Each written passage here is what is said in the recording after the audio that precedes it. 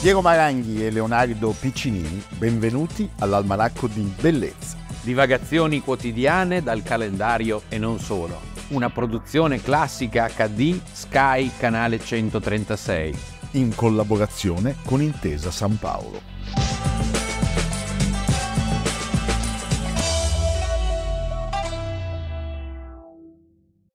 Mi scade una cambiale. Fregatene.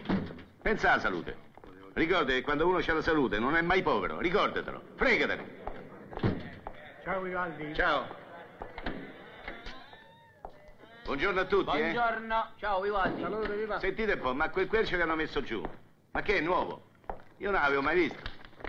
Ammattelo. Non gli sfugge nessuno con quell'occhio. Ma Guarnacci, ne è venuto? Ma penso che stia poco bene. Ma onde sono capiato gli orecchioni? Ma gli orecchioni non è una malattia da bambini? Eppure di quelli che non gli piacciono le donne. Ah, Davide, non lo sapevo che c'aveva sto vizietto. Ecco Enrico Dodi. va. E guarda che schifo di servizio. Alle finanze hanno aperto uno spaccio che è una meraviglia. Dammi un maritozzo, va. Solo qui sti cornutacci non lo mettono.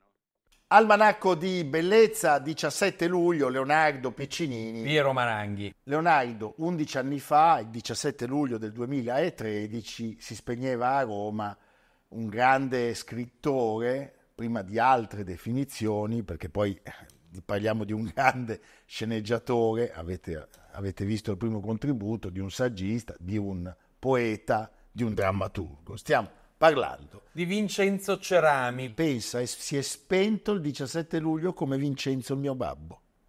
Che bello. Vedi? Qualche anno prima. Due grandi. No, vabbè, adesso Eh beh, parliamo di Cerami. Vincenzo Cerami era siciliano d'origine, ma era nato, cresciuto e vissuto sempre nella capitale. Era un vero romano. Sì. Era uno scrittore che, nonostante un grandissimo successo, appunto come sceneggiatore e cinematografico, si può parlare veramente di successo planetario, non aveva però la posa e i vezzi che spesso hanno alcuni molto meno importanti e meno dotati, non se la tirava, No, come infatti. si direbbe. È una voce davvero eh, rilevante del nostro patrimonio culturale, era capace di essere una voce tragica la sua, una voce molto molto ironica, drammatica, pensate al contributo iniziale, un borghese piccolo piccolo, una voce di cui ancora si parla troppo poco e di cui certamente si sente la mancanza. Sulla Repubblica qualche tempo fa era stato lanciato una sorta di appello. Alberto Anile, Riscopriamo l'autore Vincenzo Cerami e la sua prosa, scabra, antiretorica e attraversata da un'ironia trasognata. E l'almanacco si unisce a questo appello ed ecco che interviene con una puntata a lui dedicata. Cerami nasce a Roma, lo abbiamo già detto, il 2 novembre, nel giorno dei morti, segno Scorpione 1940, e suo padre è un maresciallo dell'aeronautica siciliano che si era trapiantato a Ciampino, dove appunto il giovane Vincenzo frequenta le scuole. È il luogo questo di un incontro felice e destinato a indirizzare il corso della sua vita perché seduto tra i banchi si ritrova, e sono incontri veramente spiazzanti, si ritrova come professore di lettere Pierpaolo Pasolini e da lui apprende, questo dice Cerami, la passione e la curiosità per il mondo. Stupendo, è proprio con lui che comincia la sua strada nel cinema perché lo seguirà come aiuto regista dalla metà degli anni 60 e pensiamo Che meraviglia. che film stupendi, comizi d'amore, uccellacci, Uccellacci ed ed uccellini. e poi nell'episodio La Terra vista dalla Luna. Delle streghe. Sì, nel, nel frattempo eh, Cerami ha finito il liceo scientifico e si è iscritto a fisica alla Sapienza, ma non prosegue fino alla laurea perché La letteratura bravo è ciò che gli interessa maggiormente, anche perché, visti questi incontri straordinari, eh, il capolavoro arriva subito, nel 1976, Un borghese piccolo piccolo. Molti di voi l'hanno letto, avranno visto il film, è una satira davvero feroce, grottesca delle frustrazioni borghesi. E il film è ovviamente di- del grandissimo Mario Monicelli arriva subito, Sì. un anno dopo. con Alberto Sordi, Shelley Winters, Sì. un un film terribile, terribile, cattivissimo. Era riuscito a trovare un piccolo lavoro come professore di lettere in una scuola di Ciampino con 25.000 lire al mese e passava il tempo con i borgatari, come si, come si diceva a Roma, cioè con eh, i poveri, in mezzo proprio al popolo spicciolo, quello che dicevo prima, lontano dalla storia, che viveva la giornata, che improvvisava la vita, così con l'innocenza, il candore appunto di un, di un animale di un animale randagio. Lui eh, ha sentito che, di trovarsi ovviamente in un mondo che gli era congeniale anche, anche perché pieno, ripeto, di vitalità, di sensualità, di allegria, ma se vogliamo dire anche non borghese. Questo era per lui importante perché il borghese, specialmente per un per, per, uno come lui, omosessuale, eh, poeta, insomma, un, transfuga, ecco lì tra i transfughi era transfuga anche lui quindi nessuno ci faceva caso. Seguono le pubblicazioni di Amorosa Presenza, 1978, il romanzo in versi Addio Lenin del 1981, La Lepre, eh, 1988, che è un romanzo storico fantastico è una delle prove migliori eh, di Cerami dopo il romanzo d'esordio e eh, risulta vincitore del premio nazionale letterario Pisa. Poi ancora l'ipocrita e poi nel 97 arrivano i fattacci eh, in cui Cerami racconta, analizza quattro delitti saliti alla ribalta della cronaca, della cronaca italiana. Due binari, uno la letteratura vera e propria e l'altro la sceneggiatura, le sceneggiature per il cinema e che sceneggiature. Bellocchio, Gianni Amelio, i ragazzi di Via Panisperna, i Porte Aperte, Giuseppe Bertolucci, Nuti, Sergio Citti, Giovanni Veronesi e il viaggio di Capitan Fracassa che lui scrive con Ettore Scola. E ancora Die con Antonio Albanese che salutiamo con affetto. Ciao Antonio! Uomo d'acqua dolce, La fame e la sete, Il nostro matrimonio in crisi. E poi quel sodalizio fortunatissimo eh sì. che nasce da un'amicizia vera, eh, Nicola Piovani e Roberto Benigni, eh, i tre eh, hanno insieme portato a esiti davvero grandiosi, perché La vita è bella, eh, è il romanzo di Cerami e poi il film che vince, come sappiamo, tre premi Oscar, Piovani, Benigni e miglior film straniero, e Cerami, secondo me ingiustamente, non viene premiato per la candidatura per la sceneggiatura. Prima, sempre con Benigni, erano nati Il piccolo diavolo, Johnny Stecchino e poi Pinocchio di Benigni, La tigre e la neve.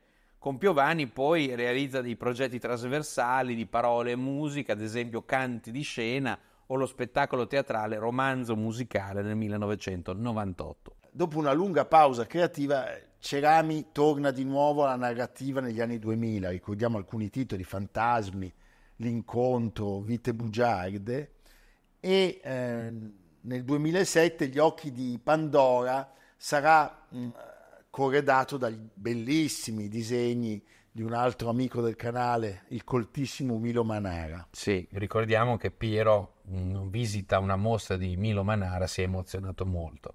Vabbè, adesso però l'ho già detto una volta, non me lo fai ridire. Comunque Manara era felicissimo, era molto contento. Ecco. Eh, vabbè. Riguardate le Andate a puntate, vedere sì. le mostre di Milo Manara in compagnia. Sì, E poi, va bene. E Eh, poi basta. infrattatevi. Si è dedicato anche alla politica nelle Beh, file del Partito Partito, Democratico, Democratico. insieme a Walter Veltroni come suo responsabile culturale e anche all'insegnamento. ha- È stato docente alla Sapienza, alla Pontificia Università Gregoriana e ovviamente alla scuola di cinema a Cinecittà. E poi nel 2006 quella laurea che lui non aveva preso eh, tanti anni prima arriva come laurea honoris causa in letterature e filologie europee. A Viene- Pisa, Viene conferita dall'Università degli Studi di Pisa. Ha avuto due figli, che salutiamo. entrambi nati nel segno del cinema, l'attrice Aisha E il figlio Matteo che fa il regista. si è spento appunto il 17 luglio del 2013, aveva 72 anni e si è spento nella sua Roma. La parte più difficile è all'inizio, è il primo passo, è l'idea. L'idea è la cosa più difficile che il lavoro perché tra l'altro non ci vuole neanche il mestiere, lì è un fatto di puro talento, è una bellissima idea, possono averla tutti. Eh, però una volta trovata l'idea, allora si, si può cominciare a fare tecnicamente un film. L'idea, per essere tale, contiene sicuramente all'interno un conflitto. Non c'è nessuna possibilità di raccontare nulla se non c'è un conflitto, una lotta tra due forze avverse.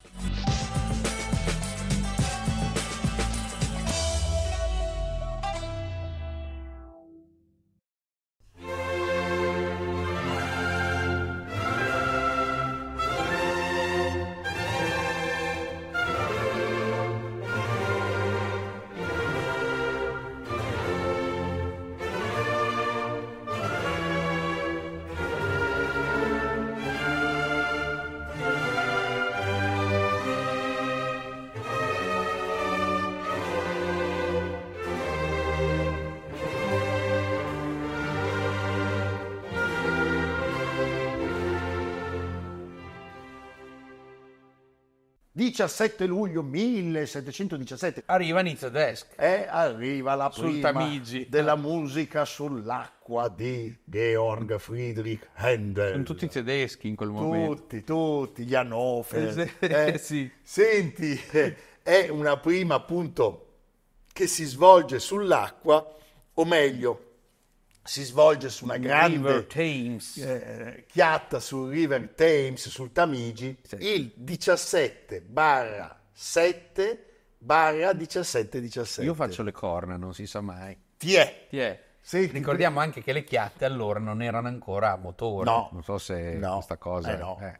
Per rievocare volevo- come si svolse l'evento è eh, sufficiente citare un breve estratto eh, da una cronaca eh, del 19 luglio di quell'anno dal Al Daily Courant, giovedì sera, verso le 8, il re, the, king, si è imbarcato a Whitehall a Whitehall in una barca aperta e ha percorso il fiume, che è il Tamigi ovviamente, the river, sino a Chelsea. No, è fan- Erano presenti altre barche con molti notabili, così numerose che tutto il fiume ne era coperto. Un'imbarcazione era riservata alla musica, con 50 strumenti di ogni tipo che suonarono per tutto il tempo, le più belle sinfonie espressamente composte per l'occasione dal signor Handel. Al re piacquero tanto che se le fece ripetere più di tre volte, all'andata e al ritorno. Era una compa- parlavano tutti in tedesco. Sì. no? Alle birre c'erano anche. alle 11 ci fu una cena, indi un altro bellissimo concerto, sino alle 2. Dopodiché Sua Maestà tornò alla sua barca e rifece lo stesso tragitto, mentre la musica continuò a suonare fino all'aeroporto, eh, all'approdo. Fi- fino all'approdo, ma è incredibile. cioè, si rende molto bene con questa descrizione l'eccezionalità di quell'evento. Possiamo aggiungere qualche dettaglio sonoro. Allora, musica d'occasione da eseguire in circostanze così particolari richiedeva ovviamente una cura specifica eh, della veste sonora. Non perché- c'erano gli altoparlanti. No, era open air, quindi No, perché oggi sarebbe più facile. e un imbastitore straordinario di grandi eventi musicali come il tedesco, poi diventato un po' inglese Handel, non si fece certamente trovare impreparato. Water music. Per la water music, per la musica sull'acqua, lui si serve di un'orchestrazione opulenta. Eh, devono fare un, Eh, certo. bel baccano. Un sacco di ottoni, eh, corni, trombe, legni, ma legni intesi come traversieri, flauti a becco e tante file di archi. Sì, qualche testimone dell'epoca avrebbe addirittura parlato della presenza di un clavicembalo sulla chiatta galleggiante, ma i filologi più puntigliosi ritengono che queste fonti siano inattendibili. Pure clavicembalo o meno, Chi se ne frega? eh, tutti sono d'accordo infatti che la musica sull'acqua, la water music, sia stata apprezzata al punto da diventare, su richiesta di re Giorgio I, in persona una sorta di colonna sonora perenne per l'intera durata del viaggio di andata e di ritorno. Tre esecuzioni a tratta, cioè era come prendere il disco e girarlo, solo che era il disco umano di questi poveracci. E poi avrebbe intrattenuto anche il ricevimento che scandì l'approdo a Chelsea. Il re faceva così. Sì. Again. Again. Eh? È un successo che è passato alla storia come un atto, diciamo, di riconciliazione tra il monarca e lo stesso Handel, perché c'erano stati degli anni un po' turbolenti.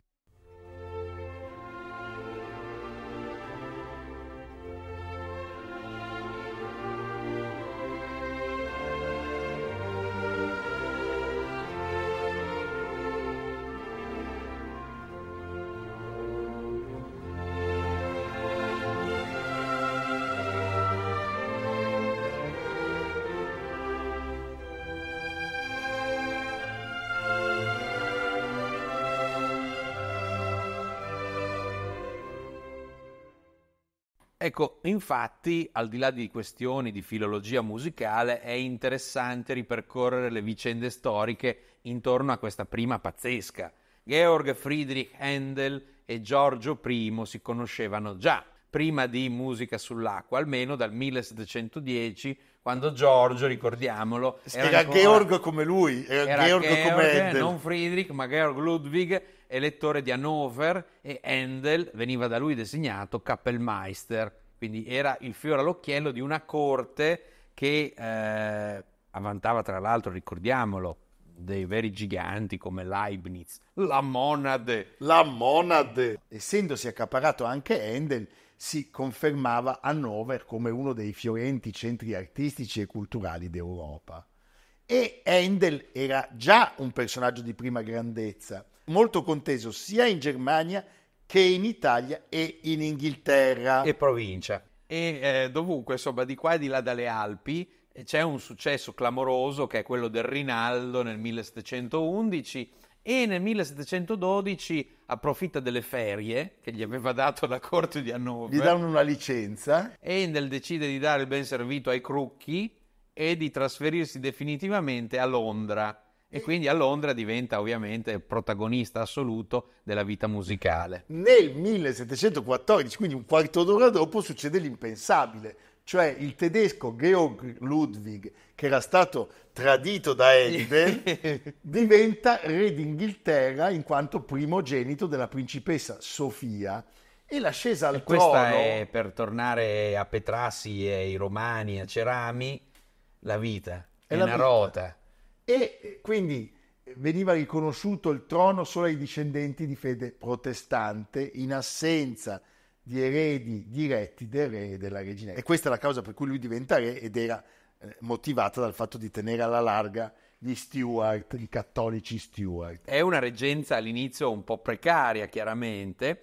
Dopo, l'in- dopo l'insediamento eh, deve incassare una vittoria in Parlamento dei Whig che non perdono tempo a organizzare una rivolta un po' maldestra in combutta con i Tory e i Giacobiti per insediare sul trono gli Stuart che erano stati spodestati. Giorgio I la spunta e saggiamente decide di rinunciare alle rappresaglie, decide di pacificare perché così si mette anche al riparo da attacchi diretti. Chiaramente se lui schiva questo tranello... I tedeschi no, I tedeschi di corte, i tedeschi insomma a lui vicini, non scampano alle ire della nobiltà inglese che era avversa al re. Tra loro c'è anche Handel che viene sistematicamente ostacolato dalla nobiltà inglese, quella avversa chiaramente al re, e il colpo più basso che gli aristocratici furono capaci di assestare parecchi anni dopo fu la fondazione del Teatro della Nobiltà dove chiamarono puntualmente i rivali italiani di Handel Porpora, Bononcini, Handel finisce sull'orlo del tracollo finanziario perché spendeva e spandeva, aveva una vita molto lussuosa. E Giorgio I, dal canto suo, fin dall'inizio aveva capito che non era il caso di tenere troppo a lungo il broncio Oh, well, col suo vecchio beniamino Handel. Yeah. Tanto più che Handel comunque ha anche lui qualche freccia al suo arco. Il conte di Burlington, per esempio, era un suo grande sostenitore. eh, E quindi dopo un po' di freddezza Giorgio I rompe il ghiaccio e lo invita ad accompagnare la star del violino. Francesco Gimignani in un concerto a corte e poco dopo gli aumenta la pensione che gli aveva garantito la regina Anna e se lo porta nel primo dei suoi numerosi soggiorni ad Hannover perché aveva anche da badare Certo. a quel che succedeva di là Quindi lo Manica. porta sul luogo del delitto, lo Esatto. riporta dove lui era scappato. Come here. 1717 il re si inventa le crociere sulle acque del Tamigi, tra Whitehall appunto e Sì. Chelsea, e perché vuole aumentare un po' la sua popolarità e non ha dubbi che la parte musicale, e a ben donde, Sì. si è rivelata la scelta più azzeccata, debba essere affidata appunto a Georg Friedrich Handel. Handel poi, diciamo, a quel punto lì è immarcescibile. Lui resta, i sovrani si succedono. Morto un re, Se ne fa un altro, come i papi. Infatti lui dopo il suo Giorgio I servirà altri tre regnanti inglesi eh, si narra che quando eh, vede arrivare Giorgio II in ritardo a un suo concerto ufficiale non si faccia troppi scrupoli per redarguirlo fermamente. E sembra che il re abbia incassato in silenzio. Senti, So gli zar non lo facevano. No, tagliavano subito Sì. tutto. Senti, lui si spegne nel 1759, aveva 74 anni, viene sepolto nell'abbazia di Westminster eh, e dopo le esequie solenni, 3.000 persone, perché Sì. Nel Poets Corner, nell'abbazia, gli viene dedicata una raffigurazione in marmo che lo ritrae con lo spartito del Messia. E possiamo dire che fino all'arrivo di Benjamin Britten, ma forse anche fino a oggi, la figura più influente della storia musicale inglese è rimasta quella del sassone Handel. La cosa in realtà agli inglesi non dispiace neanche troppo, anche se tendono appunto a dimenticare che lui non fosse un inglese.